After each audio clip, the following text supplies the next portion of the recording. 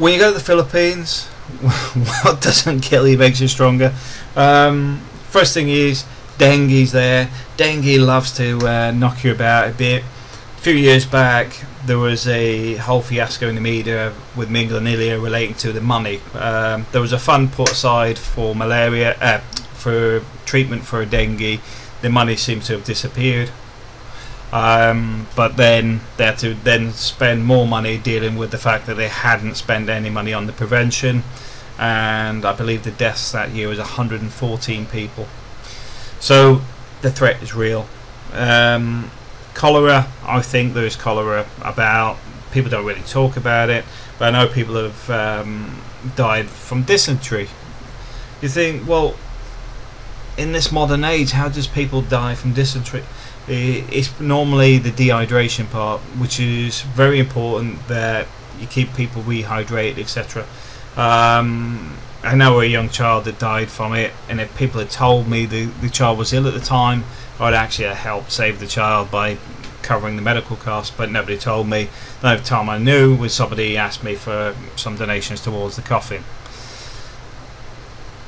That is some of the realities, grim realities of life in the Philippines.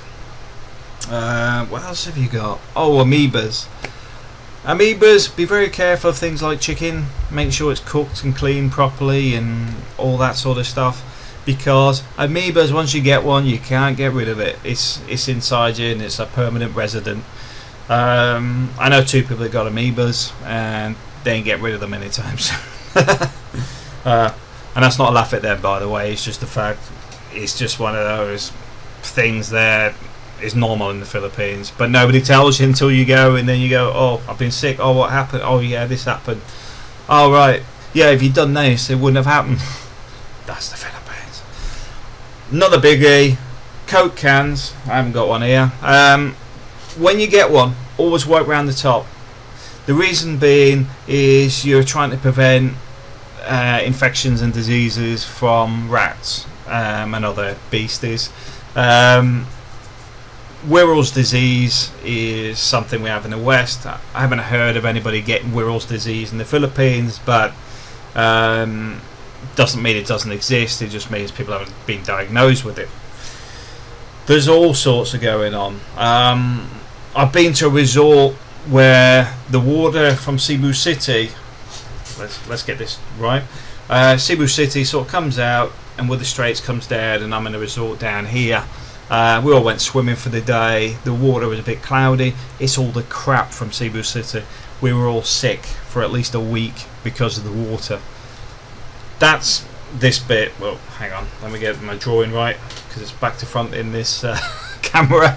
Um, but the further south you go, the cleaner it gets because the further away it is from big cities. And I want to make that clear. In the south of Cebu City, the water's amazingly clear um, Moalboal, all, those sort of places. Beautiful place to go swimming. Um, yeah, most of this is, I wouldn't say self-inflicted, it's community-inflicted because you're not causing it, but your neighbours could be. One of the biggest ones is where they throw all the crap in the neighbouring lot because Joe Bloggs next door, he's gone to work in on ships for the next 10 years. So as such we'll treat his uh, his little lot as our dumping ground because that's how good we are as neighbours. That is extremely common. Same with people just throwing things in the open sewers etc also using the sewers and stuff for the wrong thing. Um, because the open sewers shouldn't actually be used for um, solid waste should we say? But everything happens. It's I, it's frustrating because so many of these things can be prevented. So many people have invested money uh, to actually try and prevent stuff, to find the stuff being sold off and things. It just makes your hair, well, fall out like this. but yeah, be very careful. Uh, one of the things I would say, if you're looking for medical insurance though, is get one that covers you for when you're returning to work. Because like when I had dengue, um, I'm not saying I was sick, but people actually cry and expect me to die. Um, that's that's how severe it was. I I couldn't get to the toilet and back without collapsing and being out for a couple of hours after going to the toilet. Um, it, I was in a bad bad way. Um, yeah, I mean my, like I said, my see where it's white and red. That was actually caused by the dengue. Um, so be aware of this stuff. It's not like the West, and if you get rushed to a hospital, doesn't mean the hospital's going to be great. Um, I know hospitals that you have to bring your own bandages to. Uh, there's risks, and all all I always say to people is um, assess your risks, do your uh, risk management, be sensible about stuff. Ask people before you go, have they had any problems with mosquitoes or whatever, and they'll say, "Oh yeah, don't worry about it," or um, or yeah, last week we had an outbreak of malaria, for example, and we've had about 10 people die.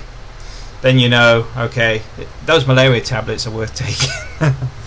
yeah, but beyond that, you're not really going to have any problem. I mean, I actually got the dengue from being in Cebu City. I'd actually gone to immigration. It's the only place that actually been in contact with other people because it wasn't in our area. Um, our house is sealed like Fort Knox. Um, you can't get bugs in there generally. Um, also, we kill everything. so anyway, hope you found this video useful. But please be aware that um, you need to think about these things. Research what to do if you get some of this stuff. Um, Tawa-tawa is it's milk milk plant is the one for dengue. There's other stuff for different things because I'll be honest with you, the, the local remedies work probably better than going to the hospital because the hospital do blood transfusions and all sorts. I think I don't think the uh, blood transfusions actually help. I think they put you more at risk. But anyway, pushing that to one side. Just make sure you've got insurance for when you get back because I forgot to add that bit. Um, because when I got back to the UK um, after my dengue bout, I couldn't I couldn't do nothing for about three months it really knocked me about um, because the problem is you're drained. I mean, literally, you just have no life in you. Your body just feels completely shut down. You know, getting out of bed is like a major achievement. All right, thanks for watching.